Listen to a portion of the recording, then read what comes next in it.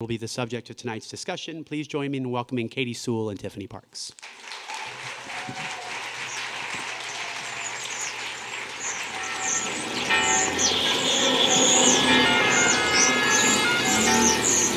Welcome to Rome. This is The Bittersweet Life with Katy Sewall and Tiffany Parks. Hello, this is The Bittersweet Life. I'm Katy Sewall. I'm Tiffany Parks. Thanks for coming, everybody. Yes. wow, we're doing a live show. For those of you who don't know, that's how the show always starts. So um, we are here celebrating uh, the 200th episode of the Bittersweet Life podcast. I know. Hard Katy does believe. all of the editing herself. Just FYI, most podcasts have a producer who does the editing and all of that stuff. In our case, Katy does all of that. Right. Yeah, great. Uh, someday, right? Um, and of course, we're also here to celebrate the release of Tiffany's first book, Midnight in the Piazza. of, yeah, Thank you. of which there are copies available for sale back there um, today. And uh, I want to thank Town Hall, uh, my old place of employment, for inviting us to do this here. Um, of course, I wasn't really wanting to do it anywhere else, so thanks for agreeing, you guys. I really appreciate it. Thank you. Um, all right, so I figured we'd start by having Tiffany lay out a little bit what the book's about, just for those of you who don't listen every week and haven't heard about it a million times. Well, first of all, the, the Midnight in the Piazza is specifically for 8 to 12 year olds, but I think, I think it can be enjoyed by people of all ages. I know I enjoy books written for children. So um, if you don't have kids in your life, that doesn't necessarily mean you won't enjoy it. Um, so the book takes place in the city of Rome, obviously. Rome, Rome is my muse, it's where I get all of my inspiration. And I got the inspiration for this story from a gorgeous fountain that maybe some of you know called the Turtle Fountain. And it's probably the most beautiful fountain in Rome, wouldn't you say? I would agree. And there's an amazing legend behind this fountain that it was built in one night. And when I heard this legend, I had to investigate. I had to find out more about it. And I also knew that someday that legend was going to come into a story in some way. And several years after I learned about that legend, I uh, decided I wanted to start writing uh, fiction.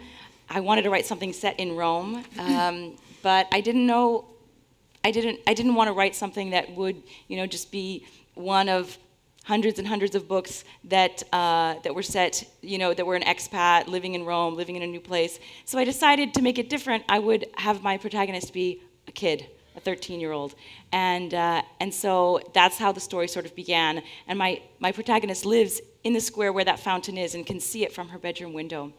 And the, in the opening chapters she witnesses uh, first of all, she learns about the legend, and secondly, she witnesses the turtles from the top of the fountain being stolen, and she has to investigate and figure out what happened. No one believes her story. She ends up go, getting in a lot of adventures, climbing on rooftops and discovering ancient Yes. diaries, and going through secret passageways and underground ruins. And um, she has a big, bit of an adventure. Yeah, she. Um, it's a. It's a. gr- It's exactly the book I would have would have wanted to read at that time. Um, and as an adult, she does several things. I'm just like, are you out of your mind? Kate, so Katy also, I should mention, Katy read, how many drafts did you read? Two at Two. least, maybe three? no, just two. Two drafts she read and gave me excellent advice and help that helped make the book um, what, it, what it became. And so I will be forever indebted to you for that. Thank you. Um, so, the book when I was living in Rome, which was back in 2013 14 when we started this podcast, was holding together, but Tiffany was feeling like, for whatever reason, uh, she had made all of these separate clues, she told all these different legends, and she was having a hard time going, this is actually holding together and making sense. Like, Yes. and while I was living in Rome, she wrote one of the pivotal chapters that kind of locked the book together. And it has a central theme of synchronicity, which is what we're actually going to talk about. We always try to talk about a theme on the show, we try not to just talk randomly. So we figured we'd do synchronicity tonight, but to start, why don't you read your characters explaining what synchronicity is? Sure. Just to give you a little bit of background, because this is kind of near the back of the book. Um, Beatrice has been investigating, and she's kind of finding that sometimes her, um, her investigation leads her to very auspicious things that just seem to work out for her. And she finds something and it seems like too good of a too good to be true too big of a coincidence. And her little partner in crime who's a skeptic uh, says you know these aren't clues. These are just coincidences. And so she's really feeling she's really struggling to know whether she's she's really following clues or whether she's just you know following her own hunches Yeah, making things up. making things up and making connections where they don't exist. And so she runs into her next door neighbor, who's an elderly lady, an elderly Italian lady, and she, she gives her a little bit of advice. So Beatrice says, Strange coincidences just keep pushing me in the right direction. At least I hope it's the right direction. For example, Mirella sat even straighter if that were possible. Well, the other day I was looking for some very specific information, and I just happened to find this, this book uh, that told me everything I needed to know. And I kept meeting, and I keep meeting people who know all about the subject I'm researching. And I know it sounds crazy, but I saw this painting, and I somehow felt like it was communicating with me somehow. She looked down, afraid she'd said too much. It's as if everywhere I turn, whatever I'm looking for pops up right under my nose, even when I didn't know I was looking for it. For a long moment, Mirella said nothing, but sat perfectly still with fire in her eyes. Finally, she spoke. What you are experiencing is synchronicity, cara mia. synchronicity? Beatrice liked the way the word felt in her mouth, the crunch of the consonants as they bumped up against each other, the way each syllable danced across her tongue. Whatever it meant, it had to be something wonderful. Synchronicity is the theory of meaningful coincidence. Meaningful coincidence. The words didn't seem to go together. According to the theory of synchronicity, Mirella said, nothing happens entirely by chance. When you focus on something with enough intensity, with enough clarity of purpose, in your small way, you participate in the creative process of the universe. Events intermesh, opportunities present themselves, people who have the means to help you are thrown into your path, all bringing you toward your goal. Such as you running into me, for example, she continued. You think it was just a coincidence? Let me ask you, what were you doing just before we met on the landing? Beatrice thought for a moment. I'd been feeling really doubtful about this, um, this project I'm working on and, and was on the point of giving up, actually. Then I realized I just had to keep going. I have to get to the bottom of this. Vedi, you see? You made a commitment, and the universe acknowledged it. Think back to all the other times you noticed these strange coincidences, as you call them. You find they are not coincidences at all, but the responses of an invisible force prodding you along. A world of possibility opened before Beatrice. Still, her skeptical side told her it was too good to be true. How does it work? Don't worry about how. Not yet, anyway. For now, just be aware. Pay attention to what is all around you, and you'll feel the universe synchron- synchronize with your own consciousness. So, synchronicity. Uh, why were you thinking about synchronicity when you wrote that chapter? Well, first I should say it's a it's a concept that I adore. It's something that I just I just the first time I heard about it, I I was like this is the coolest thing ever and I started to see ways that it had worked in my own life. And to be honest though, when I came up with the idea, as Katy said, I had already drafted the story. I was probably 5 or 6 drafts in, but I felt like there was some hole in the middle that wasn't holding all the parts together. And it was like I was lying, I was actually lying in bed one night, and I was about to fall asleep, and I was going over and over the plot in my head, and the word just popped into my head synchronicity, synchronicity. It's a little voice calling to me. And I said, That is it. That is a way that I can connect all of these dots in a, in a way that some people might consider magical, some people might consider totally bogus, um, and some people might consider, you know, synchronicity. And it was, I don't want to call it a cheat, but maybe a little bit. I, dis- I disagree because when you added that chapter, all of a sudden it snapped for me. It- it- so that was the. You read before and after that chapter, Yeah. I guess. Yeah. Because before I'm like, how are these things connected? Yeah. yeah. Yeah. So, but it is something you say it's a concept that you love. Is it something that you believe in that you've seen in your own life? I do. I do believe in it. Do you want to tell a story? Um, No. well, coming up with coming up with the idea to put it in the book was that maybe No. Sure, yeah, no. Tell me. I'll tell you. Um, I was trying to find an agent for this book about six months after this whole edition happened. I, I kind of had felt like the book was ready to be seen by the world, and I'd started to look for an agent. And if any of you out there have done that, you know what a terribly disheartening um, act that can be, project that can be. And so after several months of this and having no, um, no bites, I said, you know what, I got to take a month off from this querying process and I got to start a new project. I got to focus on my writing again because I'd been focusing all this on all this sort of business aspect of it and I wanted to focus on the writing. So I started writing a sequel and I, I participated in, a, in, an event called National Novel Writing Month, which um, you basically try to write an entire novel or a 50,000 word novel in one single month. And so I just threw myself into it, and I wrote the sequel to Midnight in the Piazza in one month. Very, very rough draft, scarily rough. Um, but It has I not been seen It has not been by seen by anyone but my eyes. Um, so I finished this draft on November 30th, got it done in time, was like super excited, had been very focused on the writing aspect. Uh, and the next day, I saw online um, advertised an event, a Twitter event to try to get your work in front of agents. And without going into too many details, it's, uh, it's, it's the way I found my agent. It was through that event. And it just happened right on the heels of me finishing this month long intensive period of writing. And I feel like Why did that feel like synchronicity, though? Why did that not Well, just first feel of like, all, it- oh yeah, I was working on getting an agent? I mean, you know, see, Katy's a skeptic. If you listen to the show, you know that I'm the optimist. I'm the one who believes in fairy tales. I'm becoming tales more optimistic. and legends. And, Slowly. and Katy's a bit of a, she's a bit more of a skeptic. I'm I a always foot say, dragger. which I don't understand. I'm a reluctant because changer. Katy, as you know, is a little bit on the short side. Yeah. I mean, I am too, quite frankly. Yeah, But right. Katy's even shorter. And I say, well, if you're short, you, you're usually an optimist because you're so down so low that the glass always looks half full.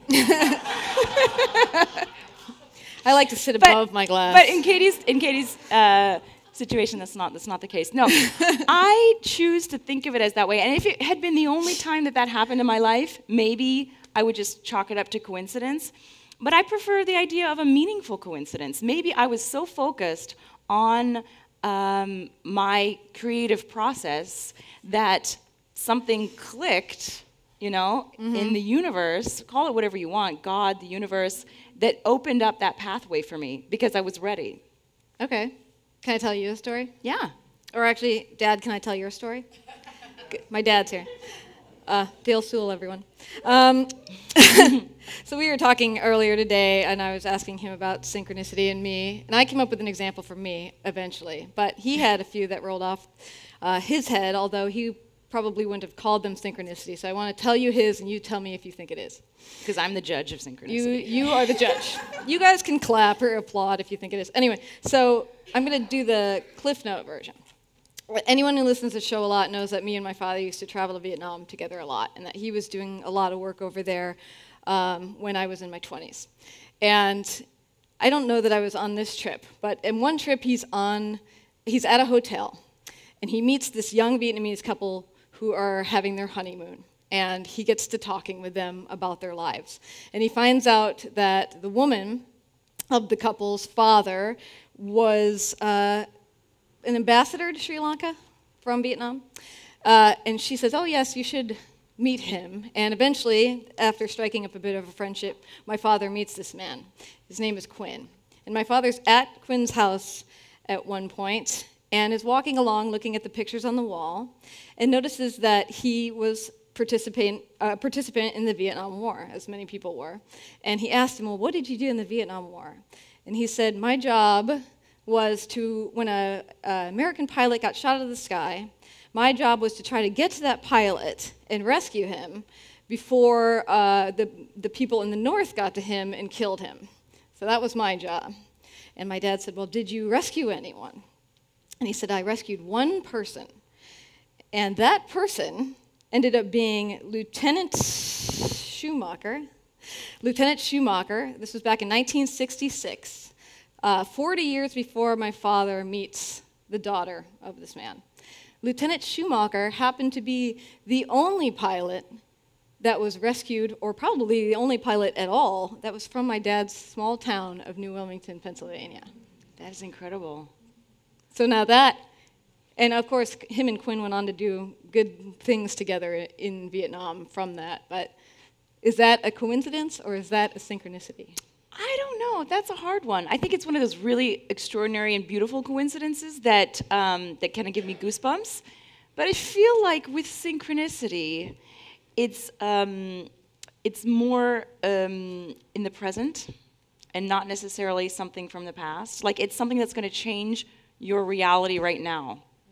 So it's a door that's going to open for you, or it's an opportunity you're going to have. Somebody comes into your life that you didn't know you needed, and they come in at the right time. Um, when this happened to me when I was 15 years old, I fell in love with opera. I decided that I wanted to be an opera singer. Um, didn't quite turn out like that, but that was my decision at 15. And I wanted to take voice lessons. And my mom got on the phone and got in touch with some people who knew, you know, who to go to and found the name of this voice teacher who much later we discovered was a really, really bad voice teacher. We didn't know this at the time.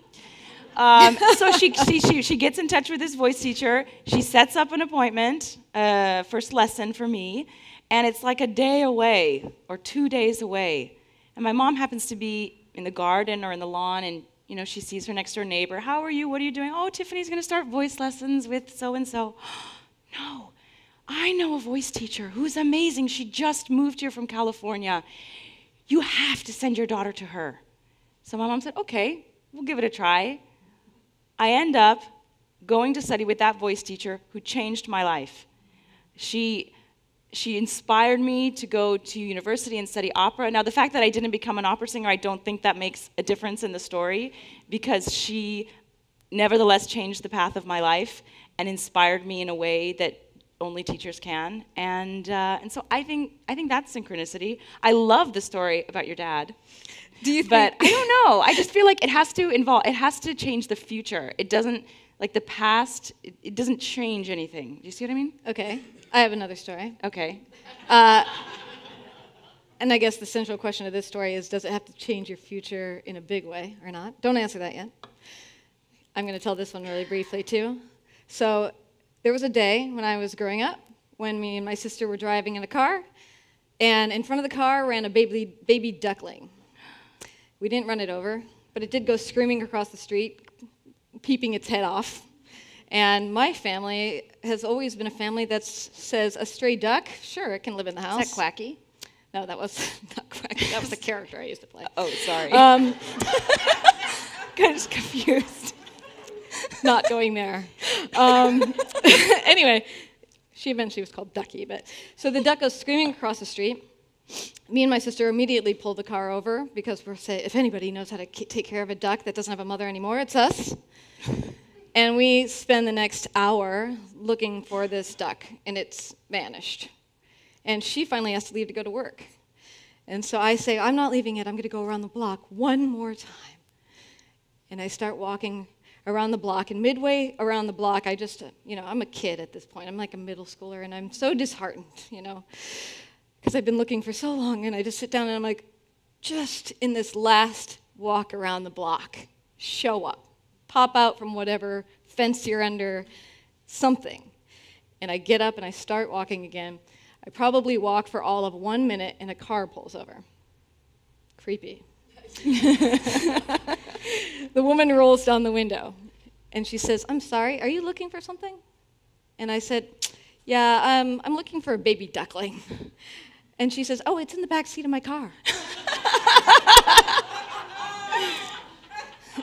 She's like, I promised my kid we'd take it to church, but I can bring it to your house afterwards. to church? Yeah. And so she brought it over afterwards, and that's how we ended up living with a mallard. Now, would you say that that's synchronicity? I, I think I think it is. What do you guys think? I think it is sure. because you you made a request of the universe or God or whatever you want to say, you know, however you want to put it, but you opened yourself up and you were like, okay, this is what I want to happen, and I'm going to do the action, which is taking the last l- lap around the block.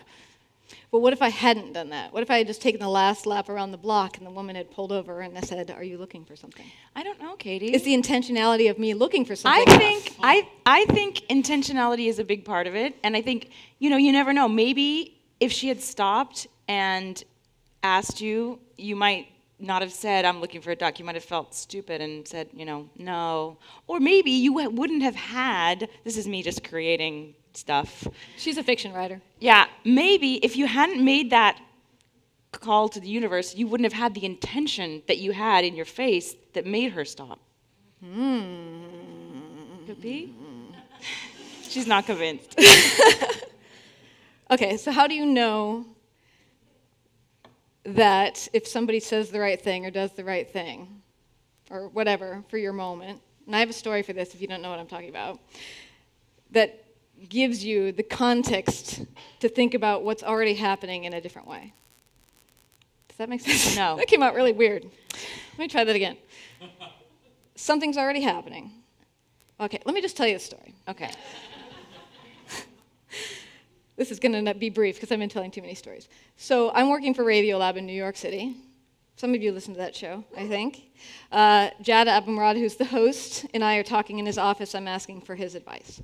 And I said, What's your number one piece of advice that you would give me? I was working on weekday at the time, for those of you who know KUOW. One piece of advice for us, or for me, in our radio career. And he'd say, Well, the best thing that ever happened to me was that I found my area of benign neglect. And I would recommend that you look for that. Benign neglect. And what he meant by that was I honed my skill as a radio person when nobody was paying attention. You know, he, and he actually started it literally in the middle of the night when nobody was paying attention, and he started experimenting.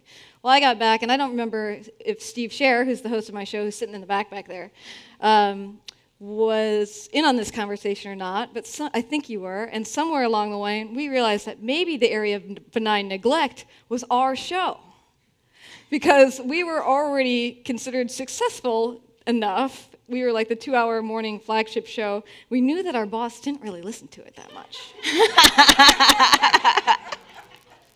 and we got pretty experimental.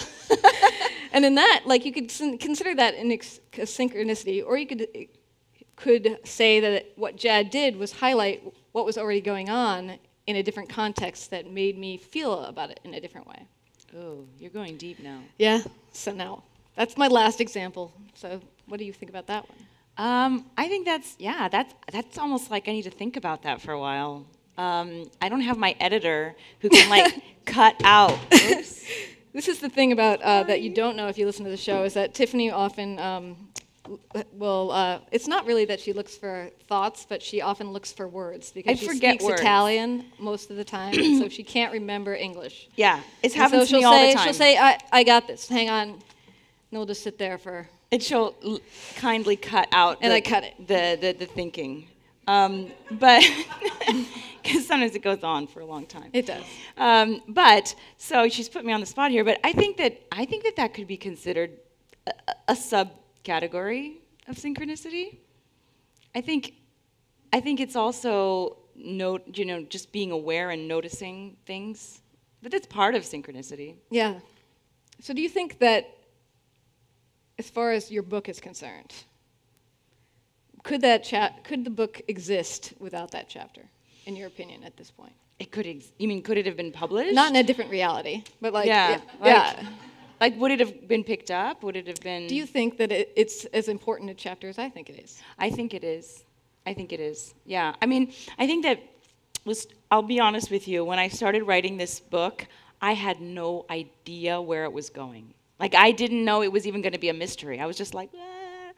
and I finally came to a plot eventually and um, resolved it, but there were there were a few holes in the middle.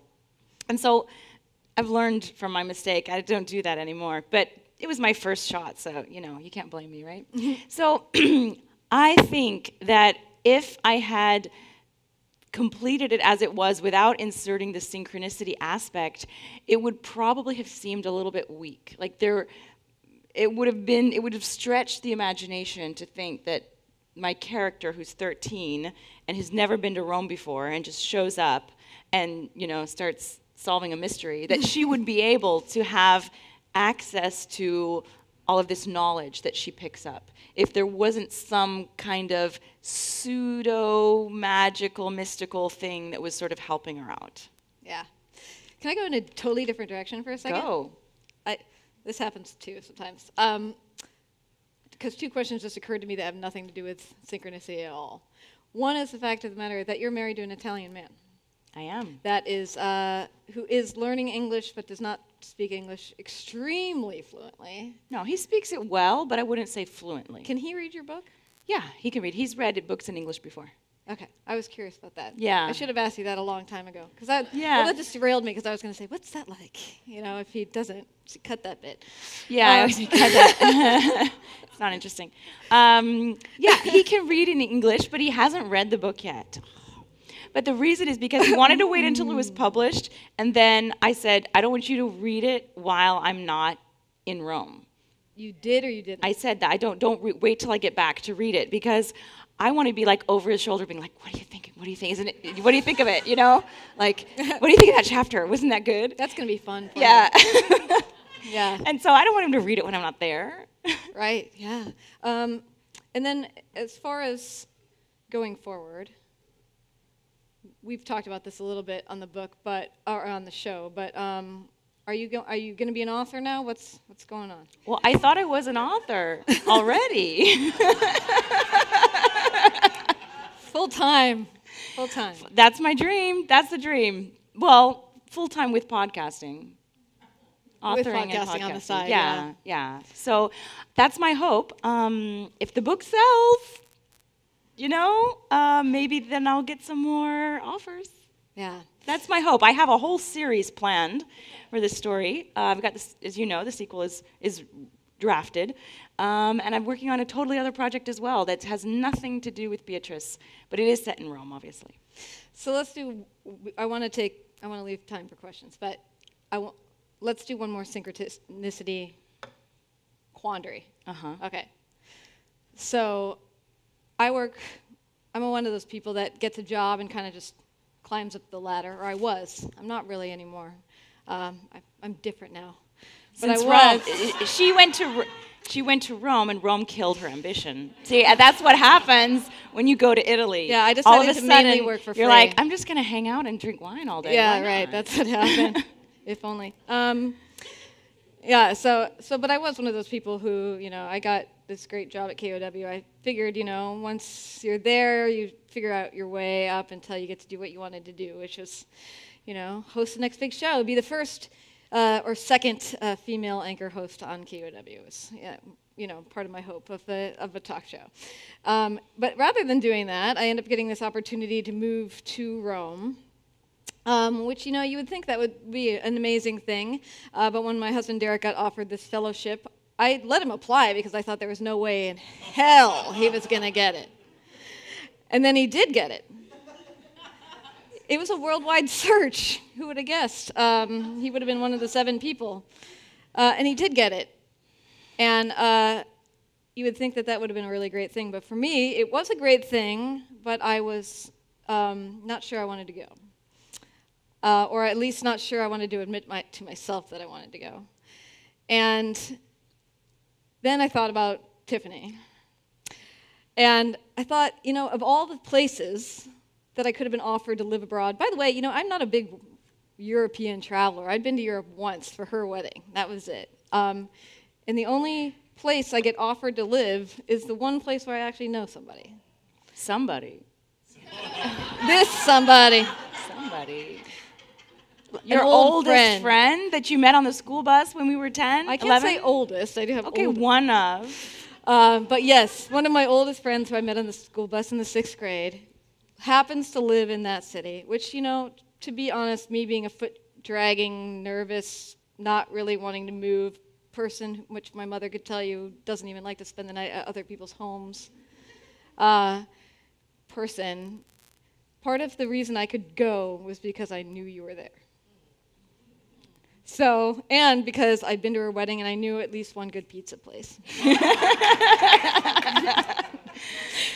Uh, Dar Poeta. So, and then of course, because of that, this show exists. And here we are, 200 episodes in. And I'm not going to say this show brought about the book, but it might have had something to do with bringing you some of you here. Well, of So- course it did. I think. I mean, I think it One person in particular, right, Derek? um, so, is that a synchronicity? I th- I think so, but you know, don't don't ask me. I think that everything is synchronicity. I guess it Well, sounds like earlier. No, I don't. But I think that the fact that this show came about because you moved to Rome, and the fact that I lived there, and and Derek randomly got this almost impossible fellowship. I think these are all things working together. Now, whether or not it's synchronicity, I don't know, because I feel like with synchronicity, you do have to kind of put something out there. But maybe you wanted a new project and you somehow put it out there, even subconsciously, and things clicked into place. You'd have to answer that. I did have my old wise woman that it was the uh, psychic that me and my assistant producer went across the street to see what it was all about.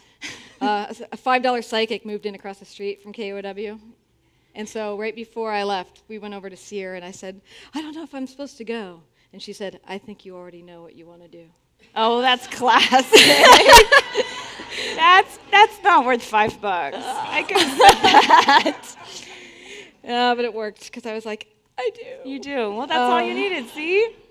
Anyway, we should leave it there. Okay. This is the Bittersweet Life. I'm Katy Sewall. I'm Tiffany Parks. Join us again. Bye. Nice work.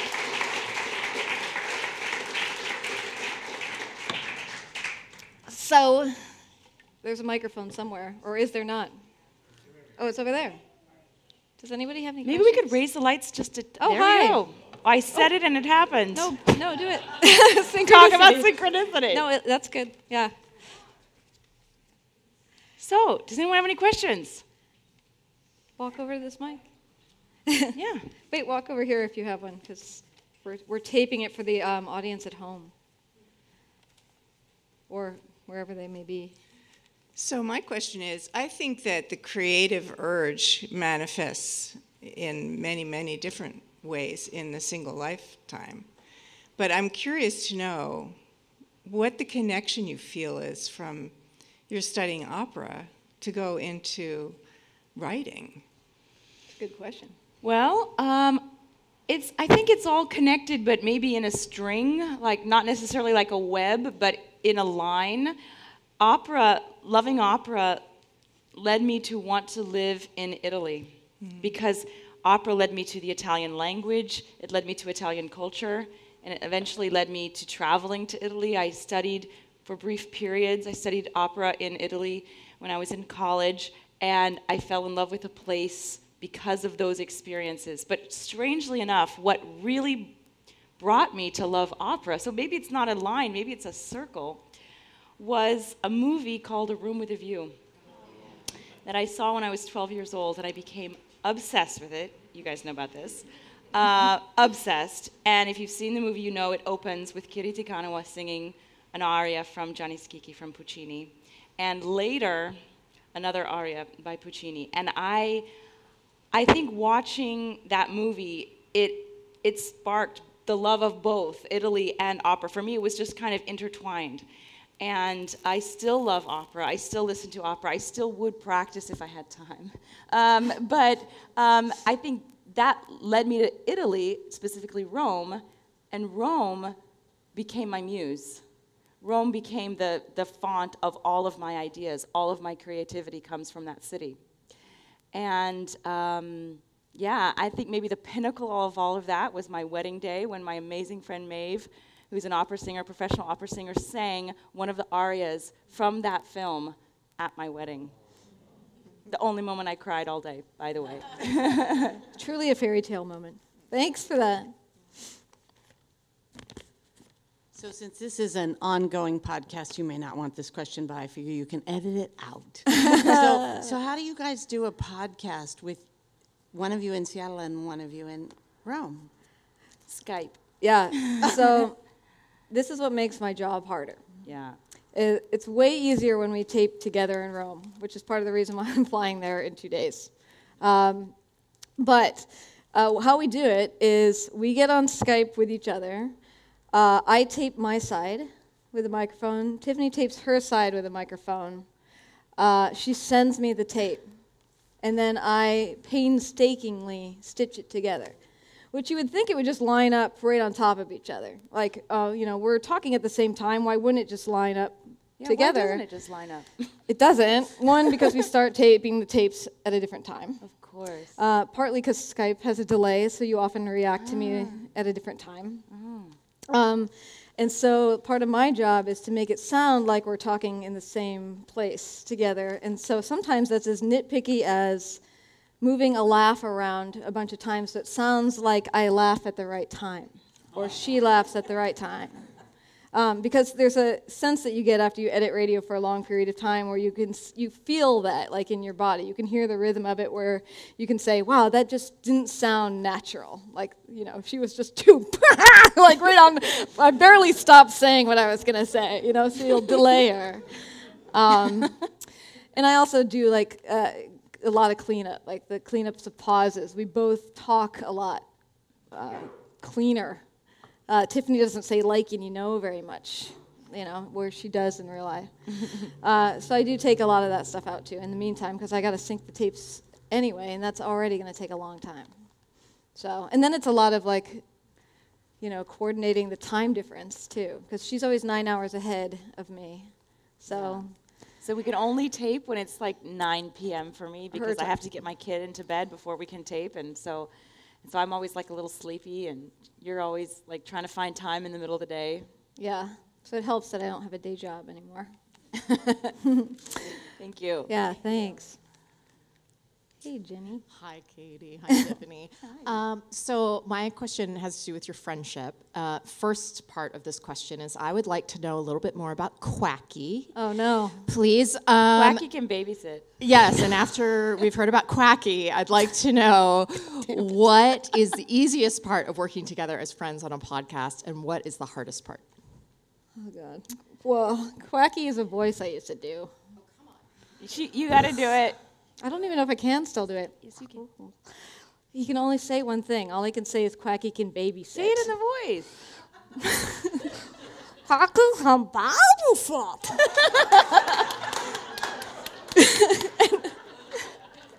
it's one of the things that happens when you're in theater together. You were talking about needing a babysitter, and I said something like, or I forget I what it was. Somebody was talking Somebody. about babysitting. Um, I offered my services. yeah. So Uh, uh, the it was better back then. Um, the easiest thing about the easiest thing about working together. I think the easiest thing about working together is that we know each other so well, and we can probably a little bit um, anticipate what the other person might say or do. And also, we don't worry about ever offending each other because we know each other so well that it's just not it's not an issue. Um, I- if I say something really like rude or you know obnoxious, I know that she knows that's not who I am, so I can I can get away with it. Yeah. Maybe. And sometimes I edit it out. You know. Uh, there's a lot of power in my position. Um, No, the worst is when I say, "Can you cut this?" and then she doesn't. well, I only she don't when it it's it funny. makes me look bad. I only do it when it's funny. Um, I mean, that said, I think that uh, like I don't think I knew her like I do now. I, you know, No. to be honest, we we hadn't um, we kept in touch, but we hadn't really kept in touch with her being gone so long uh, in Rome. We we would send each other letters, and when she came to visit, we would hang out. But um, yeah, we but- would go at least a year, two, three years without seeing each other sometimes. I remember her calling me once, uh, really upset about a breakup with a guy I didn't even know she was dating. Yeah. You know, so that's how far it used to be. But I mean, now that changed we when work, she moved to Rome, and we were living on the same street. yeah. So I think that also like we it helps that we know each other, but I think that we know each other in ways that are so deep now that it's um, like I didn't know how she felt about most of the things that we've talked about, and because we always talk about like really specific kind of deep things often, I think we talk about things that normal friends don't even talk about. Um, Yeah, and we talk for an hour every single week Yeah. to record our podcast, and we talk about you know ideas and and things like that. So we've gotten to know each other thanks to the podcast. Yeah. much better. What's the hardest thing? I think the hardest thing is the um, the distance. You know, for me, just because um, when you're trying to like run, I, it's hard to call this a business. um, you know, it would be nice if like one day it was a, a little bit more sustainable than it is now. But like when you're trying to run a business and you're trying to build up like a listenership and a, you know, get more and more people to know about it, like working together on that is really hard when you not only one have to put out a podcast every single week, which was partly my fault because I decided we were going to be weekly, but um, but also because it's hard to coordinate. You know, if she's at the end of her day, I'm starting mine, um, and so unless we like write out tasks and trust each other to do them, uh, Yeah, it's things easy, aren't really. It's easy to get away done. with something when it, your co-worker, almost boss. I mean, you're not my boss, but she is the lead, like the, the the the head producer. Let's say, you know, when she's your close friend, and you can be like, oh yeah, I know I was supposed to do that, but I didn't do it. Sorry. Yeah. You know, it's easy to kind of make excuses for yourself, and so that might be a negative of being such good friends. Yeah. I'll leave it at that. Randy. Hi, guys. Hi. Um, so I'm going to go back to when you were little. Yeah. Randy was Randy, by the way, go. Go. He was our director. We did plays at the Youth Theater Northwest, and Randy was one of our amazing directors. And I, I want to ask you guys about that because there was such an incredible spirit and and think about what people have done that that group of people so many vital creative uh, amazing people I mean uh, you know Megan Hill is is you know acting her heart out in New York City and and Annie is you know in Yeah. Hollywood Yeah. And, Suzanne uh, Morrison wrote a book. and Je- Joel I mean even Joel McHale was part of that group. Yeah. Kate Um, Hess, yeah Kate great uh, character actor. So, um, and, and I always thought it was just such a wonderful environment. But what do you what do you think that gave you those days working with that incredibly creative group of people? Gave us you, Randy. I, well, Yeah. I wasn't. I wasn't feeding that to you. No, I mean there were. You had great teachers. I was not one of their teachers, so I'm, I'm saying that. But you were a director, which Yes. is, I think, mm, as much as important, if not more. He was also the director of me and Tiffany's favorite play that we were ever in. Mm-hmm. Uh, Which one? Snow White and the Seven Dwarfs. Oh yes. Oh yeah. Yeah. Um, you were the director of that, right? I think so. yeah, no, he was. I'm just kidding. He Animal, were you an Animal Farm too? I was not. I No. was that. I, my sister was. I Yeah, was, yeah, I that's was right. really little Yeah. at that time. Uh, But that's such a hard question to answer. you go wanna ahead. go? No, go. No, I mean, I think that I, th- I speak for both of us, but tell me if I'm wrong. I think that our time at the youth theater um, absolutely influenced our future selves, not just theatrically, but just in general, like learning how to speak in front of people, learning how to tap into our creativity, learning how to just be ourselves and not care if we were weirdos. Yeah, how to focus, how not to judge too much, how to work hard on something. I think also like the camaraderie of, um, you know, how you work with people. When you're in, a theater. cast, you really feel like a family for that period of time. Yeah, but it was also about around. I think also it had to be around being around really creative adults all the time. I think it kind of takes it from this mythical land where how could you ever make a job that's creative and puts it in a look at all these people who are around you being creative. Uh, it made it seem more possible. I don't know why in particular though. It does seem like whatever class that was sprung out in particularly grand ways, and I'm not sure why that is. Uh, whoever the teachers were at that time were geniuses. That's, that's what I put it behind. or we were, I don't know. Maybe both. Joel. Hi. Um, okay, all that's great, but back on the topic of synchronicity, Okay. I was wondering what your thoughts were on the nature of synchronicity. Always, always maybe having to be a beneficial coincidence, and Ah, perhaps maybe ooh. that there's a dark side to that because in order for something to go right for someone, sometimes it has to go wrong for somebody else. Oh my gosh, so let me get my notebook out. I gotta make notes for my next book. So I just wanted gonna write to know if your work explored any of that, or what your thoughts on that were. Wow, do you have a good story on that, Joel? Or? No, no. Joel Israel, my high school boyfriend, everyone. Uh, thanks for being here. Um, boy, that is a tough question. I got to leave that one to you. This is your this is your topic, man. Um, I'm fascinated right now, and I want to go like write some notes. That that I've never ever thought about synchronicity having a dark side.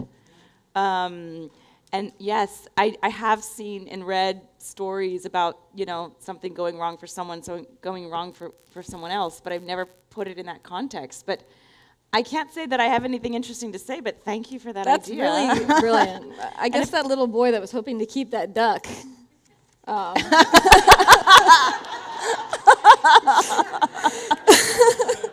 That's a good example.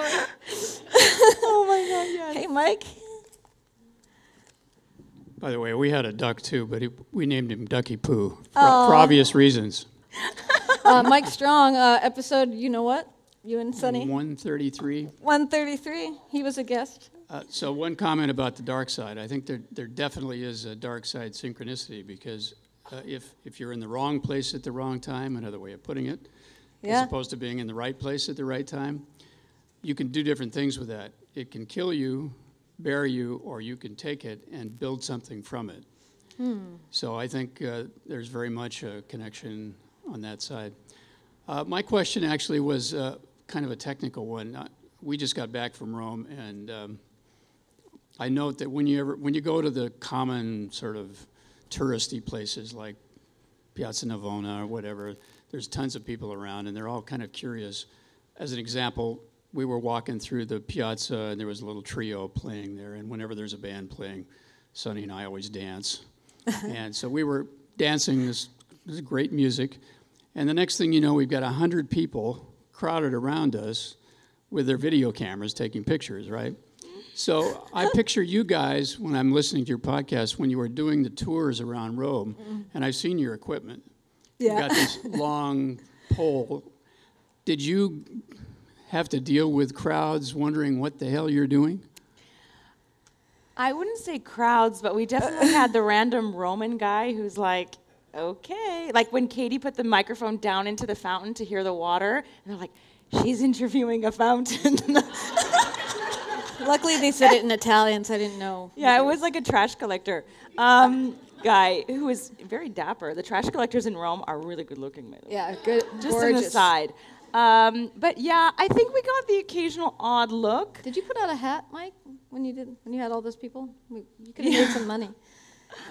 Did you put? No, but you know the band loved it I'm I sure. bet they did. yeah. because actually, we, this particular time, this has happened before to us in different places in the world, but because we're dancing all the time, that's how we met.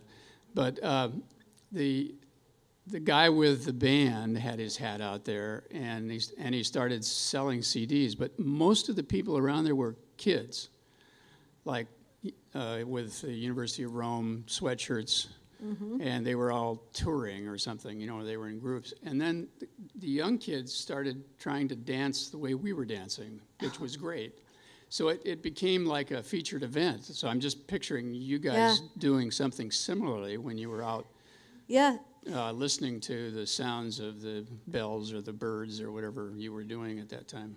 You know what's interesting is um, I don't think I would have noticed necessarily uh, because I've been on the street with a microphone a lot in my career, and I, I guess I noticed that like people somewhat pay attention, but what I'm thinking about is miking her right, miking me right, and I'm listening to the sounds that are going on around me, you know. So I'm like hearing the fountain, and I'm noticing that there's a flock of starlings that are about to go overhead, or I'm hearing that like you know some guy's making some interesting sound from back here, and so I'm almost more audio, audio than visual at that point because I'm gonna I'm trying to create an audio soundscape, so I'm paying attention to the environment but not visually. It seems to me what's changed, excuse me, is that now everybody has a video camera. So that's different than what it was 10, 15 years ago. So if something is happening, everybody immediately has their cell phones out and they're either taking a picture or they're recording you. Yeah. So did you have that experience? Not that I was aware of. um, I think people just thought we were freaks, quite honestly. Like, what's this deal with this audio um, giant microphone and no camera? And what are they taping? Like, Why is Tiffany moving her hands so much? especially when it's just audio. Like, yeah. um, yeah, it, actually, in an episode that's not out yet, but is about to be out, it might be the next one, I don't remember. Um, there's a woman who uh, who I'm interviewing, who I'm telling her a story about um, this, the experience of living in New Orleans and uh, marching in one of the New Orleans parades. My friend next to me playing the trumpet, and how weird of an experience it was. And we're in like full clown costume, right? Which is not what I would normally be doing. Um, and although I loved it, uh, and we're marching down the street, and there are all these people who are not only filming us, but filming themselves in front of us, like this kind of thing. you know? Live streaming um, or something like that. And I thought, what a weird world we live in that that is going on. Not, they're not watching the parade. You know, they're not a part of the parade. They're showing other people that they're at a parade that they're not at. Um, and I was telling her this story, and she said, "Let me be the one that's dancing," or something like that. And I thought that that, you know, was such a great comment. Like, let that not be me. Let me be the one that's dancing. She might have said it not dancing or marching, I forget, but I thought that was so profound. Maeve. Hi, girls. So, Katy, when I think about synchronicity, actually, I think about when I met you. and maybe we could speak to this, but from what I understand, when I met you at Tiffany's wedding, you brought your now husband that you knew for like a week or something. Yeah, a little You longer. want to tell that story? Oh, it was a little longer? a little longer. Like a month or something? I didn't know him very well. Um, sure, yeah, I had met him um, in a class. We were in the community, the Seattle Community Police Academy together.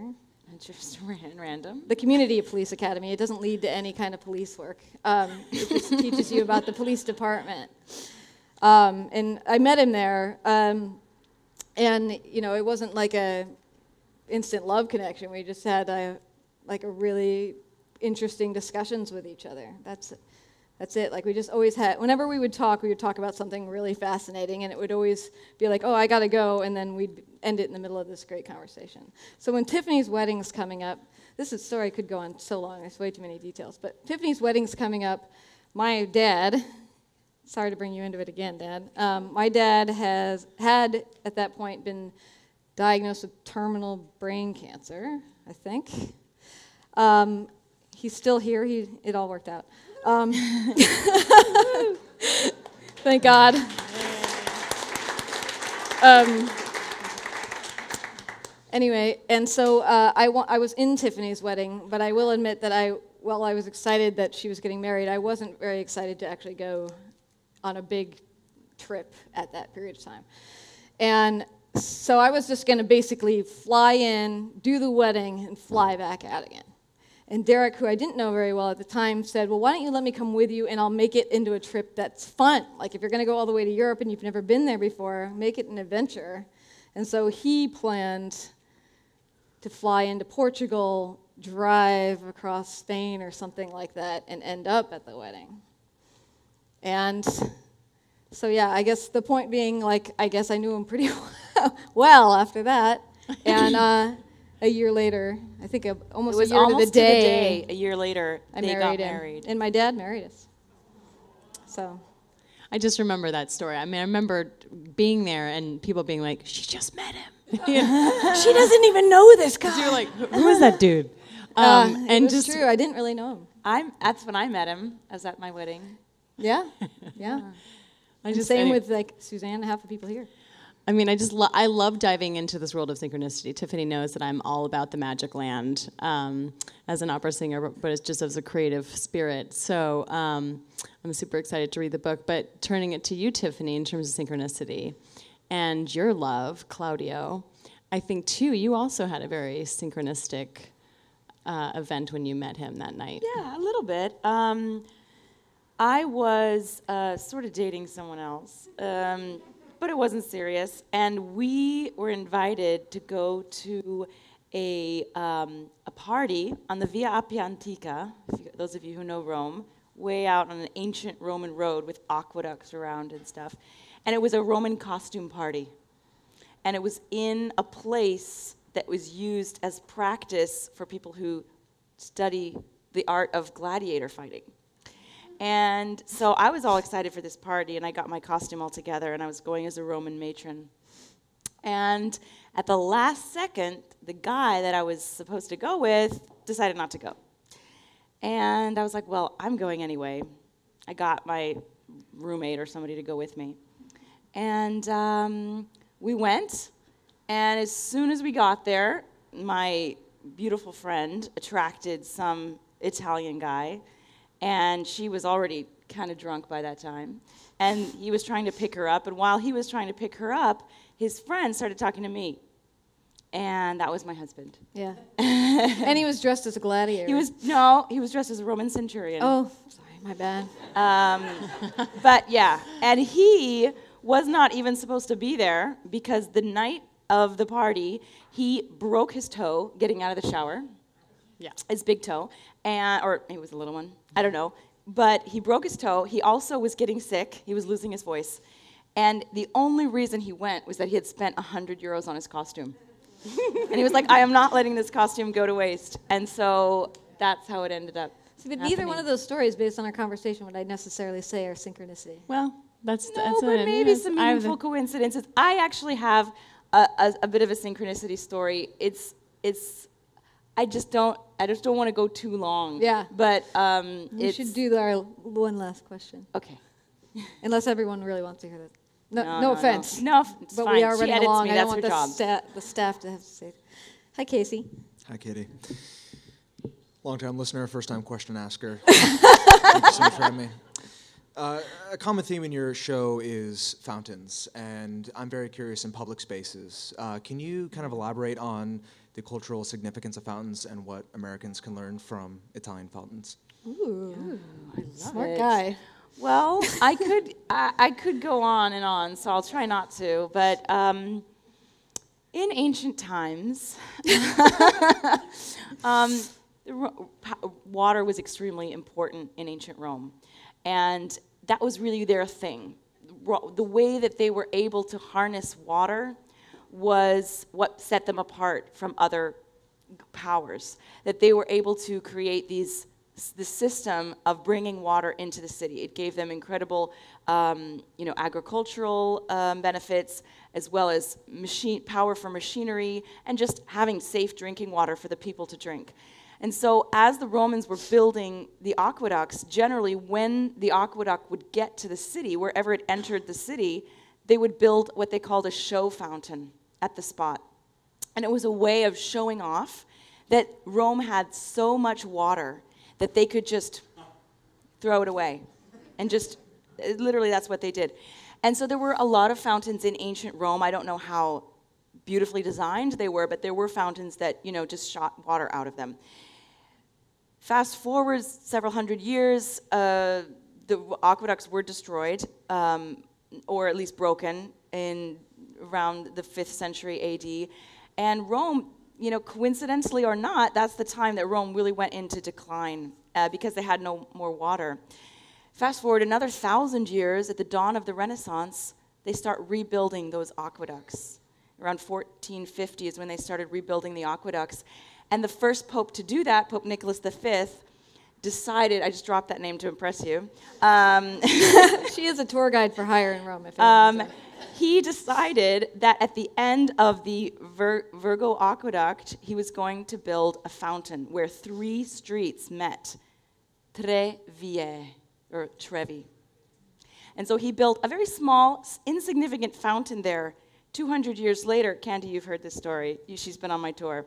Uh, 200 years later, in the late Baroque, neoclassical, early neoclassical period, another pope decided to make it into something fantastic. So that's kind of the story of the Trevi Fountain, but it's true for many of the fountains in Rome. And if you if you study in a decent guidebook, you can see most of the fountains. They'll tell you this the, this this aqueduct this fountain is fed by such and such aqueduct, and this they still the aqueducts that were repaired still feed Roman fountains. So I think that there in the Renaissance, the, the popes wanted to try to recapture the greatness of ancient Rome and shine that light back on themselves. And one of the many ways that they did that was by repairing the aqueducts and building more and more fountains. But culturally now, what would you say that the fountain's role in Rome, like Rome I as think- it moves as a city, is? I think the fountain is a magnet for people. and a lot of times there are little steps around the fountain, and people will gravitate to the fountain. Um, first of all, it's really refreshing in summer to sit next to a fountain because the air hits the water, and it's kind of like a natural air conditioning. So I think um, I think that's probably culturally what it's all about. It's just most major squares in Rome have a fountain in them, and in, in, in most Italian cities as well, that, that draw the people there. Thanks so much for coming, everyone. Uh, Tiffany will be signing books in the back. You can buy one if you don't have one yet. But most of all, thanks for coming and stick around and say hi if you know one of us. Or even or if you don't. Of us. Or even if you don't. And if you have a copy of the book that you didn't buy here, I will sign it anyway. I mean, I will sign that too. Thanks, guys. Thank you so much.